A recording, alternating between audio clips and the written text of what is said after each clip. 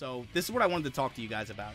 Uh, eight years ago, I came to Japan, and one of the driving forces behind me coming here was straight up I wanted to play fighting games, and I wanted to play fighting games in at least what was in my mind at the time for a lot of those games, the most competitive battleground for a lot of those games. That was JP Arcades, right? Things have changed a little bit since then, obviously with the advent, even before Corona, even when when I was just out here originally uh, there was kind of that sensation where you know a lot of these arcades they're they're dying they're going out of business and all that other you know e- economics right? 2012 i came to japan and i was off the train off the airplane for less than two hours and i found myself in yotsukaido yotsukaido uh, the company that i was working for i was in their guest house and man i was i remember getting off the train i was so excited. Now the truth is this is in bum the fuck nowhere. This is in middle of countryside Japan. I didn't even really know what I was looking at, what was around the station, but I went to the guest house.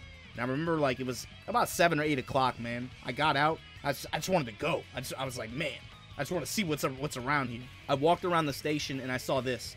This is Lucky Yotsukaido Estacion. And I was like, uh, okay. I see some posters in the window. I walk in, the whole first floor is nothing but driving games, amusement games.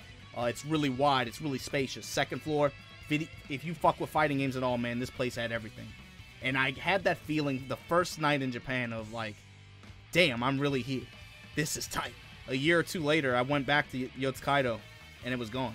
Just like that. It can happen that easy, it can happen that quickly. When I first came to Japan, I went to Shibuya and I was just walking around and I happened to just incidentally walk into Shibuya Kaikan. This was one of the last standing non-chain arcades in in Shibuya. I remember I walked into it. I was like, "Oh man, there's is this place right?"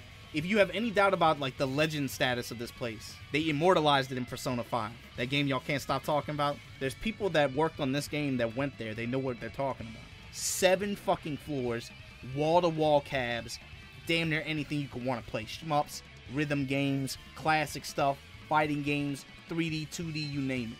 On the inside, when I say wall to wall, I mean wall to wall. They had everything you can imagine, especially if you played some Hokuto no Ken, some Third Strike, Tekken, Virtua Fighter, you name it. They had everything. And I just remember being in there, and again, it was that same feeling as when I was in that Yotsukaido arcade. I was like, man, I can't believe I'm here right now. I cannot believe, like, this exists. Like some shit out of a fucking fairy tale, right? They had the whole 50 yen area and everything. Oh, man, this was crazy. And when I tried to go back the next month, gone. Shut down forever. That was a big deal.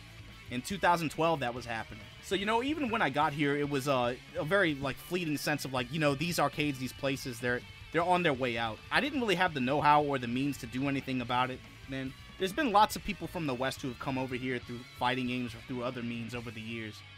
But for me, I wanted to try to do something to where I could share that with people because I think it's really sad or unfortunate that young people who like video games or whatever, they will never know or understand the rush that I got when I walked into one of these places.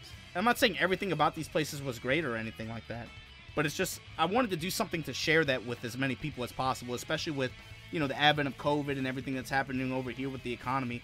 Some of these places, I'm not sure how long they have left. Uh, so about five years ago, uh, we had the idea, Gina as well, of showing you guys that not just in Tokyo either, where a lot of people, you know, you can find a lot of videos on YouTube, which is oh number one arcade in Tokyo eh, with the with the big ass, you know, corny ass thumbnails or whatever. I wanted to go bigger than that. I wanted to show you the whole fucking country, the whole thing as as as I've experienced it, or share that as much as possible with you guys.